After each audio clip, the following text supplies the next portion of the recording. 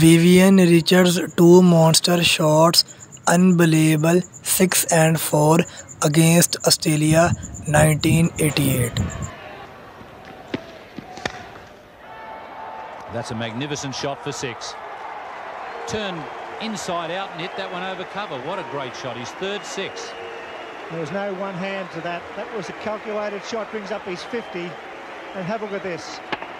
Beautifully timed, he opened the face, and that's over almost a square cover at the Sydney Cricket Ground.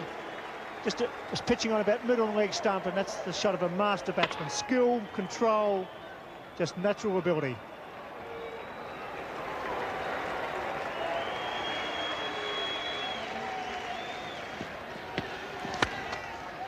That's a fantastic shot as well.